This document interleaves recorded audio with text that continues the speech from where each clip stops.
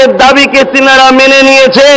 তাই সর্বপ্রথম এই ব্রিকেডের জমিন থেকে আমার প্রত্যেকটা বাঙালি ভালোবাসার মানুষকে বলব, যেখানে যেখানে বাম শরিক দল প্রার্থী দেবে, আগামী ইলেকশনে মাতৃভূমিকে রক্ত দিয়ে হলেও স্বাধীন আমরা করব। আমরা বামপন্থীর প্রত্যেকটা, যেখানে যেখানে শরিক দল প্রার্থী দেবে সেখানে আমরা তাদেরকে পুরাতন দিনের ইতিহাস ভুলে গিয়ে কি হয়েছে, না হয়েছে, সব ভুলে গিয়ে আগামী দিন এই বিজেপি সরকার আর বিজেপি সরকারের নীতির মমতাকে আমরা বাংলা থেকে উৎখাত করে ছাড়ব। আজকে বাংলার স্বাধীনতাকে কেড়েছে এই মমতা। বাংলার নারীদের অধিকার কেড়েছে এই মমতা।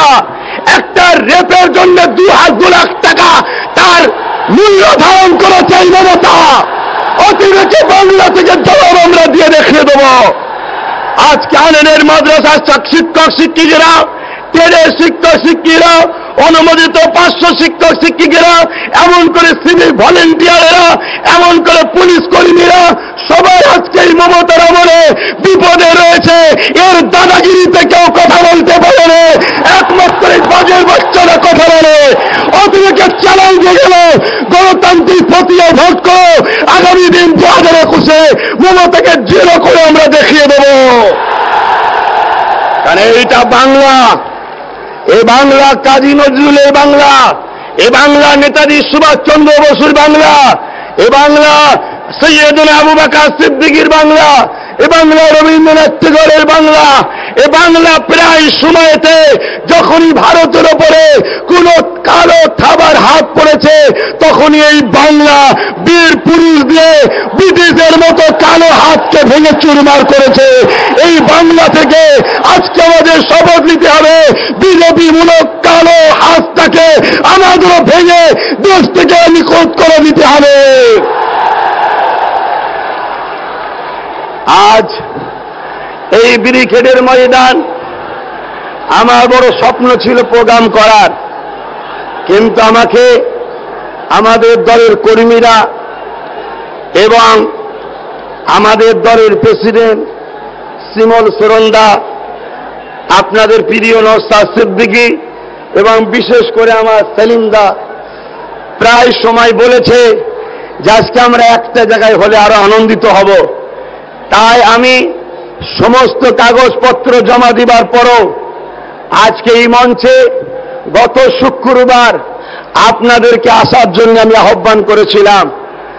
আজ এখানে যেনারা বাম বন্ধু আছেন, বাম বন্ধু শরিক বন্ধু আছেন এবং কংগ্রেসের যে সকল বন্ধু আছেন, সবাইকে বলি, আজ শুক্রবার প্রচার করেছিলাম।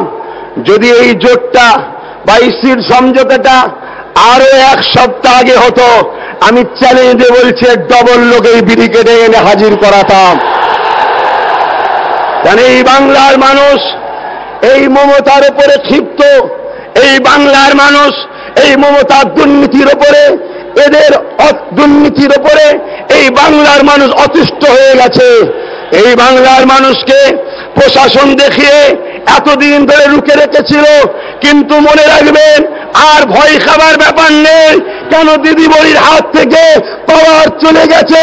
নির্বাচন কমিশনের হাতে চলে গেছে। আর মনে রাখবেন, এক মাস পর বাংলা দিদিত্বের হাত থেকে চলে যাচ্ছে। আমরা বাংলা দখল করব, গণতন্ত্র বাঁচাবো বেকার যুবকদের কর্মসংস্থান দেবো, আমরা প্রত্যেকের পেটে ভাত খাওয়ার ব্যবস্থা করব, আমরা শিল্প তৈরি করব, আমরা চাই ভারতবর্ষের সংবিধান আমাদেরকে যে অধিকার দিয়েছে, শিক্ষা, স্বাস্থ্য, উন্নয়ন করে বেকার যুবকদের জন্য থাকার ব্যবস্থা, শিক্ষা, স্বাস্থ্য, অন্ন, এই ব্যবস্থা আমরা তৈরি করব। এই বলে আমি সংক্ষেপ সময় কেন এটা বক্তব্য দিবার বেশি বড় জায়গা নয়? নিশ্চয়ই আপনারা বুঝতে পারছেন, অনেক সম্মানীয় ব্যক্তি রয়েছে, তিনারা বক্তব্য দেবেন। হয়তো আপনাদের মনে একটা প্রশ্ন জাগতে পারে, যে আপনি বললেন যে যেখানে যেখানে বাম শরিক দল দাঁড়াবে, আপনি ভোট দেবেন। আমাদেরকে বললেন, আপনি কংগ্রেসের বেলায় বললেন না কেন? হয়তো আপনাদের মনে যেতে পারে আমি একটা কথা স্পষ্ট জানিয়ে দিই। ভাগিদারি করতে এসেছি। কারও তুষণ করতে আমি এসেনি। ভাগিদারি করতে এসেছি। অনেক হয়েছে আর নয়। ভাগিদারি চাই। পিছিয়ে পড়া। অধিবাসী, দলিত, আদিবাসী, ওবিসি, মুসলিম, পিছিয়ে পড়া মানুষের হক বুঝে নিতে হবে। এই ভাগিদারিতে এসেছি। অতএব যদি কেউ মনে করে বন্ধুত্বের হাত মিলানো দরকার, দরজা খুলে রয়েছে, আগামী দিন বাংলায় তাদের হক বা সিদ্দিকি লড়াই করবে কথা দিয়ে গেলাম। ভালো থাকেন ভালো থাকেন, কথার মধ্যে কেউ ব্যথা নিলে ক্ষমার নজরে দেখবেন। কেন দেশের প্রধানমন্ত্রীর ভোটের যে অধিকার, আমারও ভোটের চেয়ে অধিকার, রাস্তার ধারে পড়ে থাকা ওই ভিকারি মানুষটারও অধিকার, সব অধিকার সমান। তবে আজকে মনে রাখবেন টোটাল টোটাল বাংলার বুকে সব থেকে যদি আজকে কেউ বেশি আফসোস করে, সেটা বাংলার মুখ্যমন্ত্রী আফসোস করছে। ওর ঘুম হারাম হয়ে গেছে, চিন্তার কোনো কারণ নেই। আপনারা সুস্থভাবে যাবেন ঘরে ফিরে আর একটা কথা, আপনারা আপনারা এই গরম গায়ে কেউ পানি খাবেন না। এটা আমি ব্যক্তিগত অনুরোধ করছি। এই ঘাম গায়ে, গরম গায়ে কেউ পানি খাবেন না।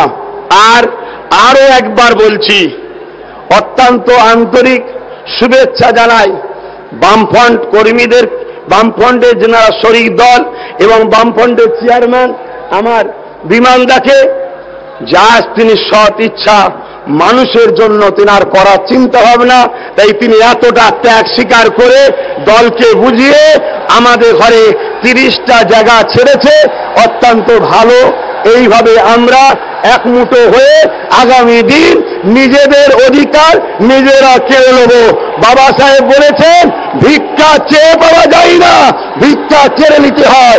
তা আমার সাথে সবাই একবার হাতটা তুলুন, সবাই হাত তুলুন। হাতটা মুঠো করুন হাতটা মুঠো করে আমার সাথে বলুন, আমরা ভারতীয়, আমরা গর্বিত। ভিক্ষা নয়, অধিকার চাই। আমরা ভারতীয়, আমরা গর্বিত। ভিক্ষা নয়, অধিকার চাই। আমরা ভারতীয়। আমরা গর্বিত। ভিক্ষা নয় অধিকার চাই। ভালো থাকেন সুস্থ থাকেন।